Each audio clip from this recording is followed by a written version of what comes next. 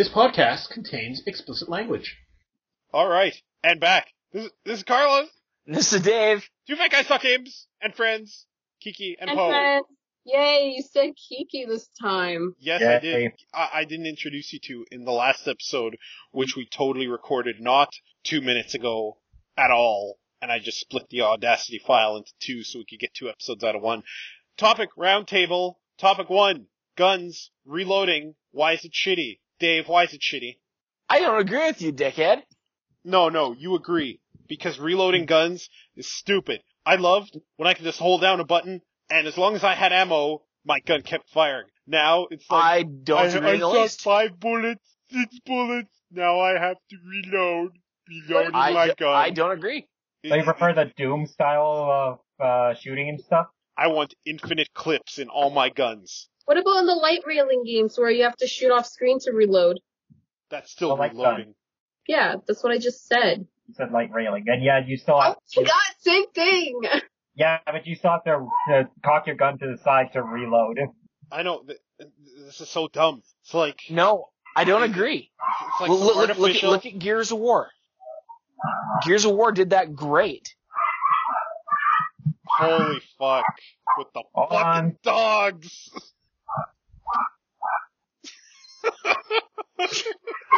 Oh my. There's probably some punk kids uh, skateboarding in front of the house. fucking punk kids. Fucking punk kids. Next topic. Punk kids and games. Why are they such punks? Anyway, back to the whole reloading thing. I see why you wouldn't like it, cause as you're reloading, you're getting shot at, and you're like, fuck, I need to fucking load my gun. Oh, oh great, I don't have enough bullets. Shit. This is 0.5 seconds. Like, there we go. This is 0.5 seconds of non-gameplay in my game. I need to be stimulated at all times. Well, I I see where they because some people want more realism in the game, and they're like, well, it's realistic to reload your gun, and it's more strategy, so you don't just sit there holding the button. You have to actually think about when you're gonna shoot, and like, uh, and it helps you not waste your bullets, so every shot basically counts. But at the same time, when you're like in the middle of heavy fire, that could kind of be really irritating. I, I, I see why it's there though. To play devil's advocate to my own point, as Dave mentioned this earlier, and then I got very angry for no reason.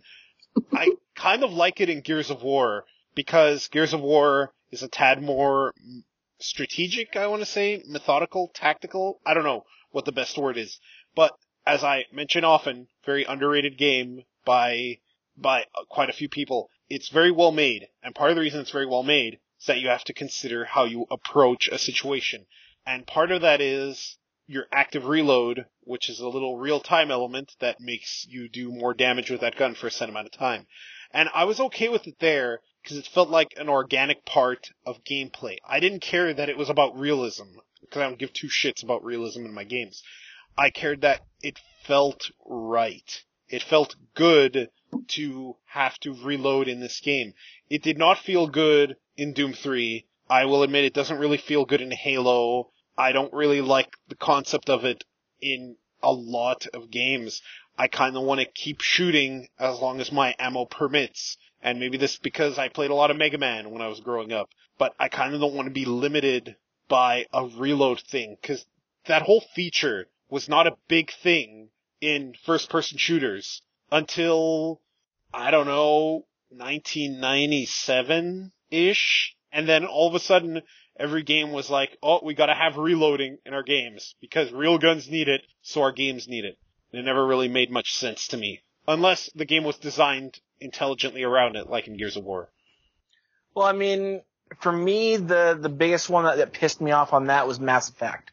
I mean, I didn't like when they brought in thermal clips um, to to get around. Oh, well, we don't want people to just uh, have infinite ammo to be able to do whatever the fuck they want.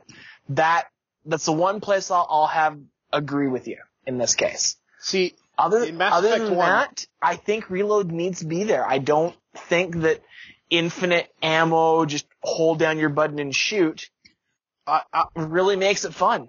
I, I never said infinite ammo. I said infinite clip. I know what you're saying. Okay, Yes. sorry. Infinite clip. Um, Well, As I recall, in Mass And, Effect and, 1, and that's how I see the, the person complaining about that doing. I want one infinite game because I don't want to be Shut the That's fuck just- up. that's just fucking racist, Dave. As I recall, in Mass Effect 1, you had infinite ammo, but your gun could overheat if you used it too much Yes. sequence. I'm totally okay with that. I'm okay with So was I. overheat because that's a little more organic to me. Just stop firing for a little bit and let your gun ready. It's much better than having to watch your guy go through his Unreal Engine animation to show the cameras, look, look kids, this is a real gun, like in real life. It, it doesn't strike me as terribly useful. I'd like to hear from Poe and Kiki on this topic. Wait, I you guys already I've weighed come on the fence too about how uh, reloading is both kind of dumb and in certain games it's a strategic point. But all in all, I think I'd rather just stay with the Doom 1 and 2 style, just like being able to run and gun through shit, not having to worry about reloading. uh, But you Unless, just ran out of bullets and do. until you're out of ammo, yes. Well, that was my topic. I've calmed down a bit now. Less angry. New anger life balance. Who wants to go next? I can. Go! so I don't forget. Very quick and simple topic. Are infinite lives in games good or bad? The only game, well, I guess it depends on the game, really. But the two games I was thinking of right now, I was thinking of Kirby's Epic Yarn, Yeah. which I haven't really finished. I'm not too sure if it's just that I don't like the game or if, if I haven't given it a fair chance yet. I have played it for a little bit. I have been really sleepy every time I played it. Maybe it's just because it's so cozy. I don't know. But This coming from the girl who falls asleep watching Carlos play Gears of War 3. I fall asleep through that or fighting games. It's just the noise is just so cozy. Versus a game like, well, the one I was thinking of was Sonic Adventure, for example. It, or even Mario, uh, any 3D Mario game. Is there a point of even having lives in those games? Cause you can get like 99 lives right away. Is there even a point of having the life counter there? Like, I don't think there's a point in something like Mario because really you Yeah, the latest Mario there's that one video we made where we got infinite lives by me holding the little star dude in what was that one called? Mario Galaxy, wasn't it? It was Mario yes, Mario Galaxy 2. Galaxy. And I was your little star buddy, and I was holding the enemy still, and you just jumped on him for lives. Yes. And so, is, is there even a point? Oh, of, that was a, that was one of the worm guys. It, it, it was actually a, a one of the one of the Koopa Troopas. We put the video up on YouTube. So Yeah. this is a topic I wrote a Bitmob article about, and here's the basic gist of that article and my whole thought on the matter. Uh, live systems are mostly pointless if you're gonna just throw one-up mushrooms at the player like bullets in a cave shooter. You might as well just take the life counter out. Mario 3D Land has a hundreds digit in the life counter. Even Nintendo Sonic knows 4. it's stupid.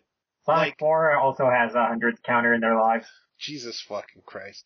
Like, here's the thing. Just make the one up mushroom worth a bunch of points and take the lives out. In a game like that, they're pointless because if you run out, you just lose whatever checkpoint you were at in whatever level you were in. And that's not even a big penalty.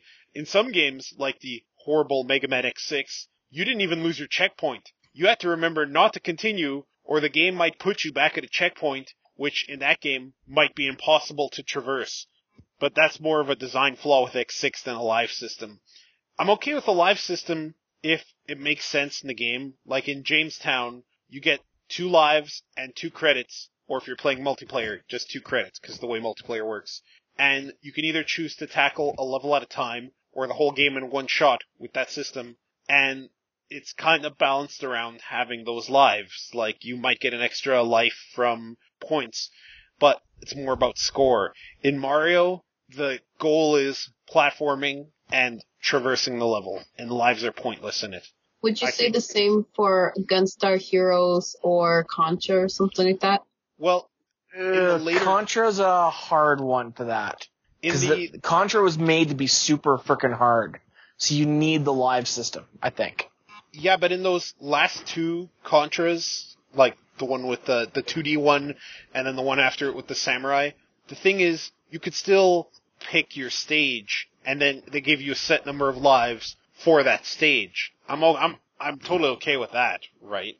Like it's not like you need to earn a one up in stage one to kind of carry you through stage three, and even that would be fine if that's how the game was made. But the game was being made to tackle one level at a time, and part of the caveat is you get two tries at this. I'm okay with that. Maybe if that's how Mario levels worked, I'd be okay with that too. That's kind of how N Plus worked. You had infinite lives, but you had to beat levels in groups of five to reach the next checkpoints. You could pick it directly, Yes. Oh yeah, I love N plus. That's right? okay. Game. Yeah. But yeah, I think there's a point for it, and the point, uh, the place for it is not Mario, at least not anymore. Cool. Can't argue with you. Especially since you could just For skip once. a lot of Mario 3, like when they invented flying. You could just break a lot of game, a lot of the stages in that game. That's why they had to nerf Mario's flight. Yeah, Mario never had flight again. Although in New Super Mario Bros. 2, he has that raccoon tail and screenshots show him flying, but I'm not excited for that game. I haven't been excited for Mario for some time. Bleh. Kiki, you good with your topic? I'm good. Delightful. Next topic. Well, I don't, I don't know if I've done this before, but I was gonna go with like alignments, like in-game alignments. Explain. Like, uh, in, like in story mode, like in storylines where you get to choose whether you can be a good person, a bad person, like heavenly, hellish, a nice guy, a douche, etc. in games. And whether they, and when, whether those affect uh, the overall story of a game or not. Are you saying if they should or I'm, I'm just saying that, uh, it's like, uh, it's like uh, games like Mass Effect and what, how like uh, storyline uh, and like character interactions change depending on whether you're like uh, on one of the two different of the three different Lighter, dark. lighter, dark, neutral, like for Mass Effect, or law, chaos, neutral for the Mega Ten series, etc. I, I think some games shouldn't use it. Like in the first Mass Effect or in Jade Empire, the game didn't really have good and evil. It was more like you could choose between being a hard ass or a wuss. And the issue is that it didn't really change the game ish. It kind of changed some dialogue. But the best way to play was to go hardcore one way or the other. Being neutral was not really of benefit, so it didn't really matter there. It kind of mattered in a game like, say, Ogre Battle, where your individual unit's alignment mattered statistically against Yep. other Yeah, it characters. did. But then it would it was easy to lose your desired alignment or gain it, like your heavenly lich or your monstrously evil princess. I had the best team and then I just trounced everything so everyone started going evil and I'm like, no, stop guys, stop, you're too awesome No, you steamrolled through a good part of that game with that team. I with my think about But that was that was easy to make a team that could do that. The problem was was you were nerfing yourself by doing it. No, you weren't. How were you nerfing yourself? Well, Yes. just because your teams would start going all opposite alignments, Well, and in what some I- cases you wouldn't be able to get get certain endings. Uh, no, that's only if you use the main character. The main character's alignment, like the all the other groups, they can do whatever the hell they want. Which is why at one point my uh, well my my evil princess lich team was just zero alignment. I just used them to fucking kill shit that I couldn't kill with my other groups, or the I would purposely not level my holy groups for like two or three maps and have my evil groups just go and having a shit fest so that way I could keep my alignments. So there was a, kind of a path strategy there if you wanted to do that way, but to keep my actual character from straying off into e- either path, I would kind of balance off when they would attack, when they wouldn't kind of thing. So it doesn't really affect your character. You had to watch your Mhm. reputation bar as well. Like, you couldn't liberate towns with your zero alignment units until close to the end of the game. There was that, wasn't there that one map though where they liked evil people, so you would have to use your evil people to liberate towns? Or it depended on the actual town's reputation, right? The town actually had a reputation No. bar. I think it was that uh, any uh, town that had a low alignment, so you would get better praise if you liberated with low alignment characters. So hmm opposite's the true. Wow, it's been a long time since I thought about that game. Love that game. Not that great of a game, but I like it. It, it there were a lot of good things about it, but way too much micromanaging of alignment and shit. Yeah. kind of ruined it. Yeah, yeah. Ogre Battle alignment. Poe, is there more you wanted to discuss on alignment in games or anyone? Yeah. No, I, Well, anyway, you you go first, David. ultimately, I, I think the alignment system has begun begun to become tiresome. I mean, yes, games want to try and give you options and make your decisions matter and stuff like that, but even Mass Effect, I'm sorry, I'm just not, I'm not getting it. I mean, yes, you can do, you get some obscure dialogue options like, um, if you do this, I'm going to rip out your heart and feed it to you, or look, dude, just go my way or, and everything will be fine sort of thing. But it just doesn't, they're shoehorning in a alignment system because they think it gives choice. When in reality, it's gotten old. We just don't care anymore. It, it's time for it to go, I think. It, it, it's, it's outlived its usefulness. It just doesn't really give us anything anymore. I I think- agree with you that uh, it's outlived its usefulness in games where uh, it uh, you know, alignment and shit doesn't really affect. Uh, it only affects like minor conversations, but it doesn't affect the entire like ending or plot of the story as a whole. What about alignment as in, for example, in RPGs like, I guess MMOs, you could say like Aion, for example, when you're either the good angel people or the bad ones, or in World of Warcraft where you're the Alliance or Horde or whatever. Alliance or Horde doesn't really uh, isn't really affected by alignment. Yeah, that, that's not really alignment. That that's an actual choice of I'm going to play this group or that group. That's not really alignment. Okay. I just want I, I was, the reason I was asking is because I didn't know if that's what you were also talking about. I thought you were talking about like any kind of alignments, but okay, I get it. Well, no, Yeah, I, it's I mean ultimately you, you are right in thinking about as an alignment, but less in the way that we're talking here about well, why the fuck are we having these alignment systems that you're earning towards? I even find it pointless in Knights of the Old Republic. I I don't think there's uh, like I wouldn't say the system has to go. I think certain games need to drop the pretense. Bioware. I think you can still make a game where these choices matter and where it can affect the plot, but you have to design the game around that, which seems to be my answer for everything now that I think about it.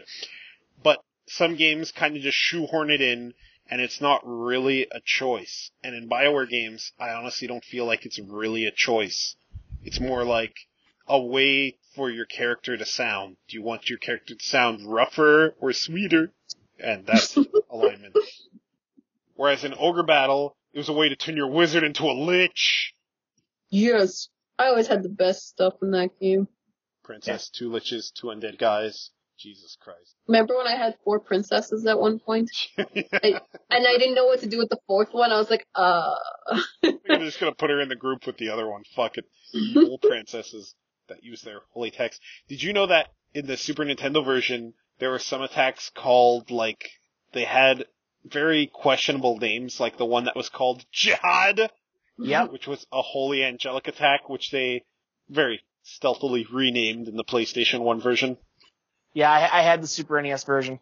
Jihad! Don't make me go NES jihad version on was you. Better because the PlayStation one took forever to load too. Yeah, it's like, fight it out. 30 seconds of loading. That's, that's the battle theme. Ogre battle. Good. Good. Yes. Good. Alright, Poe, Got did you have more to talk about?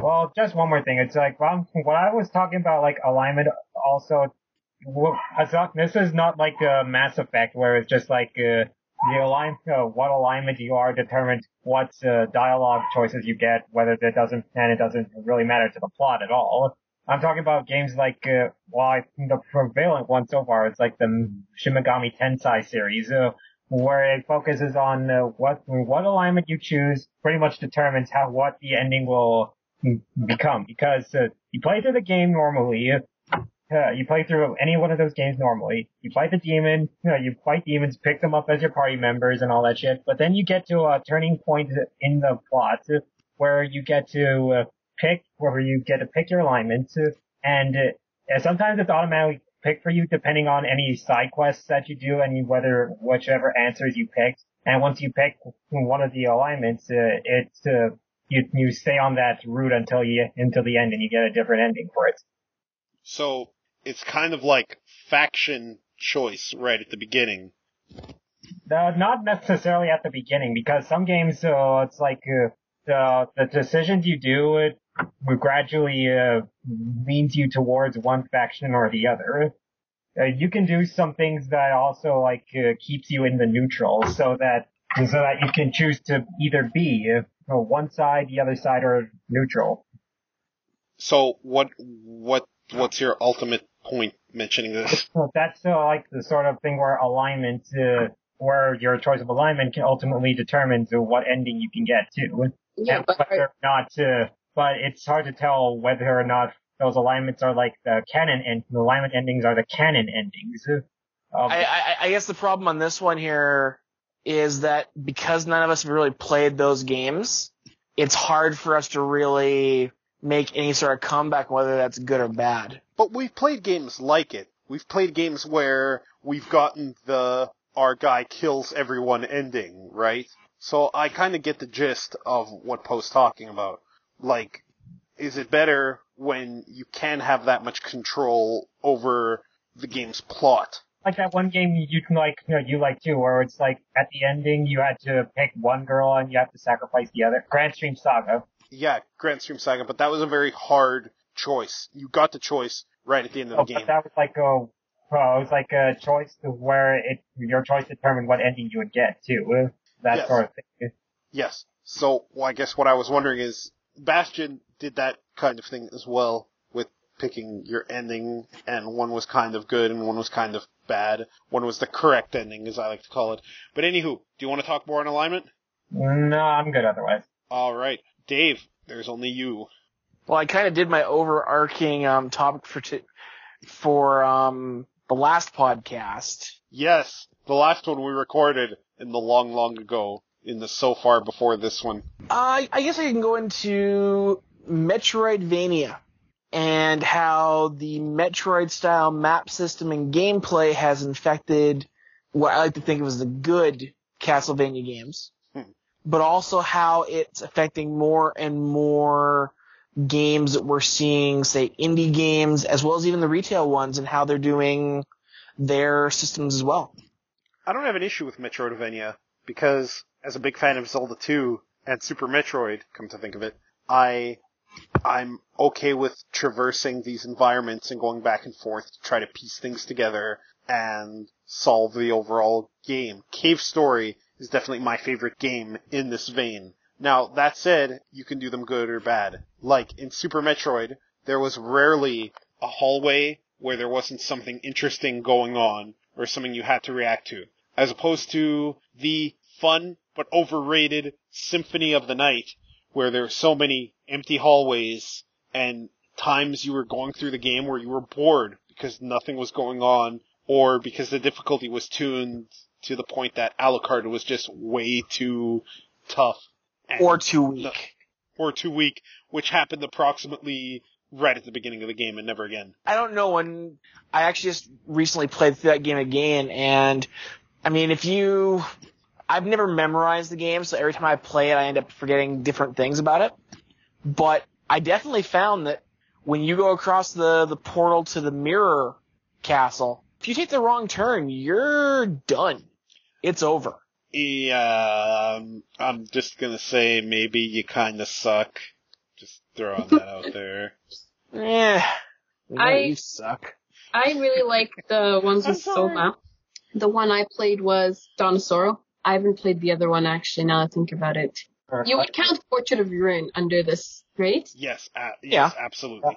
I was not impressed with Portrait of Ruin, and I hated the fact that I just missed the spell heal throughout the fucking game, and I was like, how, how, where did you guys get this? And they're like, you missed it. I'm like, oh, shit. Well, fuck, okay. I also couldn't really play. Oh, Order of the one part, yeah, Ecclesia. That one was so ridiculously hard. I just stopped. I was like, no, I can't. This is just way too difficult. Like, the, like, I think, um, the one with Soma was my kind of difficulty where it wasn't too extreme, but it was difficult enough. Whereas Ecclesia, it was just fucking skyrocket. I'm like, I, I don't know. Dawn of Sorrow was definitely a little bit tougher than Symphony of the Night, though Soma could quickly outlevel the challenge. And in Portrait of Ruin, the same thing could happen. And I think what happened in Order of Ecclesia is some angry guy at at Konami was like, "Motherfuckers, calling my games easy. I'll fucking show them." And then Hey. fucking threw three consecutive hard bosses at you right at the beginning of the game. Like that one crab boss, I swear I had to try eight times to be that motherfucker. Yes. Was that the crab boss where you had to climb up? Yeah. Yep. Yeah, that guy. Oh, That guy jeez. was yeah yeah like thanks game. Give make that make that guy the second boss or the third boss. Like give me a th- a challenge where I can't fall right at the beginning of the game, where I barely have weapons that can go down effectively. Thanks, jackasses. hey, maybe it was the same people who did episode two for uh for PSO. That angry fucking Star guy. Online. Yeah, that was a difficult, difficult set of levels for Phantasy Star Online. But yeah, like, I think with Metroidvanias, you still have to design them well. And a lot of the 2D Metroids definitely keep you busy, and a lot of the 2D Castlevanias, the Metroidvanias, kinda don't. And that's why they're a little overrated. Like, it, uh, Egoraptor talked about it in his Castlevania 1 versus 2 sequelitis. But even before I watched that, I kind of felt like the Metroidvanias were a tad overrated.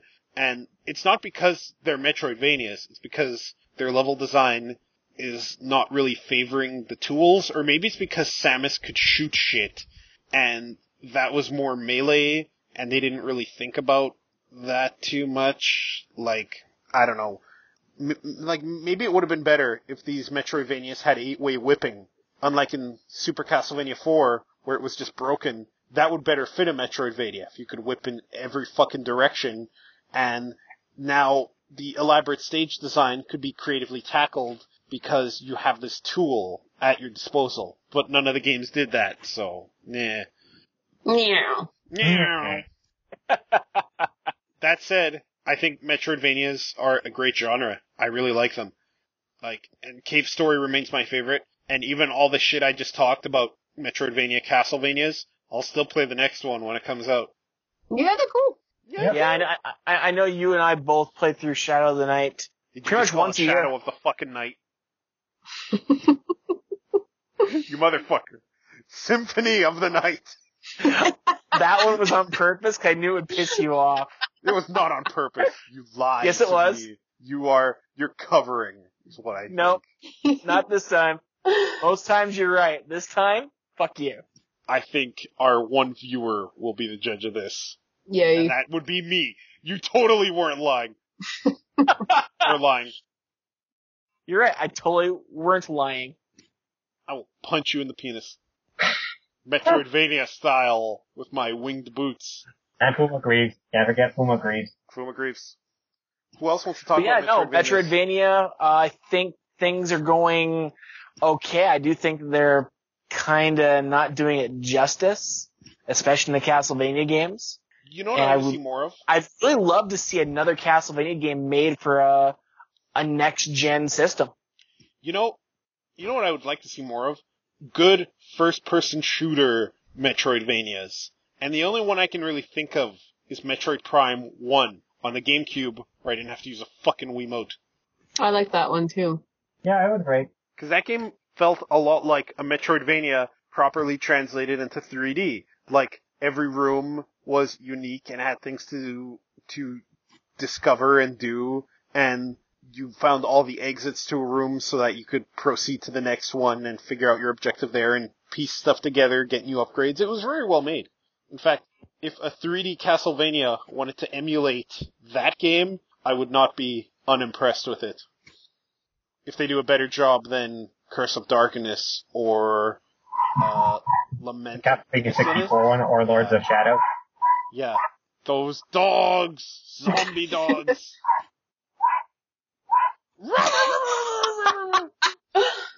Well, without Richard, this roundtable seems to be a little shorter than usual. It's square.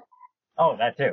the world Well, is square. I- Spell it I do have backwards. one. Unlock the second airship. I, I do have one sort of subtopic. From what we've seen in the past, whenever Nintendo releases a new system, like the Wii, it was able to have backwards compatibility with its old game. Or old games, rather. Mhm. Do you think the Wii U is going to have backwards compatibility? No. No. I, I, I think Nintendo has done that all of once, and that's the Wii having GameCube compatibility. True. I don't think, like, the GameCube didn't have N64 compatibility. Now, that said, their portables tend to be pretty backwards compatible.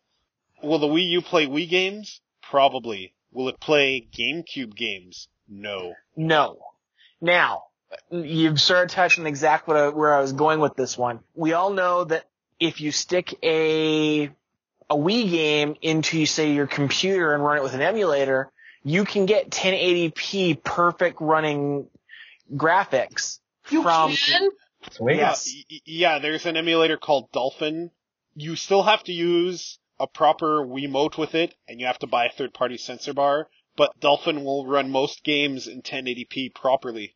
In fact, that's how you play those custom new Super Mario Brothers Wii levels. and you're you're hitting my topic perfectly here, Carlos. So, with the proposed backwards compatibility with Wii games, are we going to see, seeing as it was the system itself that was holding those games back, will they look any better, or is Nintendo just going to emulate them so they look exactly like they are on the Wii? Well, So, given the nature of polygons, if they're being processed differently, they kinda have to look better. It's like playing a PlayStation 1 game on the PlayStation 2. to be honest, I think that Nintendo is going to actually put in a Wii limitation so it runs exactly like it was in the Wii. I don't think we're going to see any improved graphics at all. It would be just like Nintendo to do that. Kiki, you were about to interject with something. I was gonna say there's no way Nintendo would do that because they're greedy fucks. and I, I know you're grumbling in the back of your mind, Ki- Kiki, is like, what, I could run that at 1080p? motherfucker." A little bit, maybe. I agree with you. I agree with Kiki. Nintendo's not going to do it because number one, they won't be able to sell the game again. And number two, they'd have to actually admit they made a mistake. Well, the Wii was a mistake anyway because, The Wii wasn't a mistake. It saved Nintendo's ass. but it was supposed to be on the GameCube. It was What are you supposed to be about? just an attachment. Is that actually true? Yeah? Not that I heard. Yeah. Neither. Wouldn't surprise me, but The show showed me. Let me see if I can find it real quick. sure. Yep. But yeah, no, I, I truly think Nintendo is going to just say, well, fuck you, it's gonna emulate exactly like it was in the Wii because that's how we intended it. That, and I'm sure we're gonna hear that exact phrase too. Well, fuck them. I have. There are tons of indie companies doing Nint- what Nintendo used to do well better than how Nintendo does it now. So fuck them. Fuck them right in the anus. Just killing time till Kiki finds her stuff. Look But yeah, no, stuff. tru- truthfully, I mean, that would be a really good thing on their part because I don't think that would stunt the sale of Wii games. I think that would actually increase it because all of a sudden, wow, my game can look that good. Just saying. I, I think that would actually help them. Okay, I found the article here. The Who did the website- article? Joystiq. Okay. And it says patent shows Wiimote was original GameCube peripheral. Here, I'll send. Do you want me to put give you guys the link to take a peek? No, no, no, no. It, it's Yeah. it, it, uh, it's all right. We have some source. And there's an image where it shows the figures where you put these little two uh, readers on each end of the TV instead of just one bar, and you would plug in in one of the game like on one of the controller slots is where the remote sensor would go. And it actually shows pictures of showing this guy using a left and right swinging motion. You know that Huh. actually makes sense. It's not like the Wii was that much more powerful than a GameCube. And uh, one example of a game they showed was Mario Tennis. Like it shows a little Mario and it shows him how to hit the ball and stuff. You know, th- this totally makes sense. Like But even yeah, like I guess- the Wavebird. You know how the Wavebird had that little attachment thingy Oh yeah, Or- the Wavebird. where you click it right on in? That's how it was supposed to be. I Huh. see. Intriguing. Well, Nintendo ultimately made the right financial move in not doing that, clearly. I just wish that, in addition to being financially successful, they were also still making amazing games. And not, or even just better than mediocre games. Like, fuck. Growl. Dave, you good on your topic? Yeah, I'm good on the topic. I got got what I wanted out of it. Delightful. Are we good for this episode, friends and Dave? I think so. Nice. No? Nice. I'm kidding. Yes. Oh, okay. Good one. All right. This has been David. And this is McDonald's. And this has been Drew. Two guys talk games. And whoa. All right.